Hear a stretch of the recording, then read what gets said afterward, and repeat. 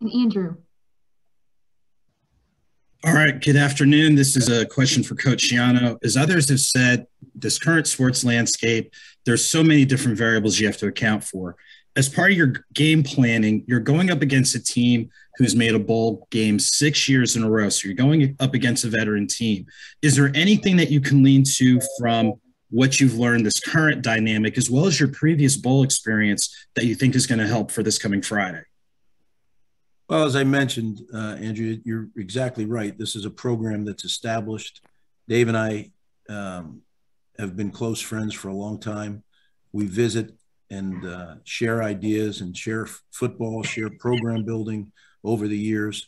Um, but I definitely will lean on our past experiences. We've had some really successful bowl games and bowl trips. So that coupled with the, the work of everybody on Pat's staff and my staff, um, I think we'll make this a great trip for the players. I think we will get ourselves ready to play the very best that we can. And then, as I always say to the guys, you know, you, you throw it out there, and as long as you play your best, you just see where the chips where they land, and that's what we're going to do.